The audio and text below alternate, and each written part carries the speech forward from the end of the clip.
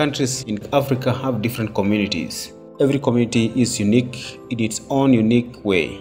In Kenya, for example, there are over 47 tribes. There's the Luhya, the Luo, Kamba, the Kikuyu, the Kisii, and many others. However, at the end of the day, we are one, guided by one common flag and a president.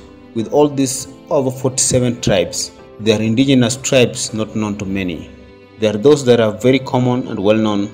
You have seen many articles, you have seen videos rating the tribes with the most beautiful girls, but I guess you haven't seen about the Kalenjins, their culture, their staple food.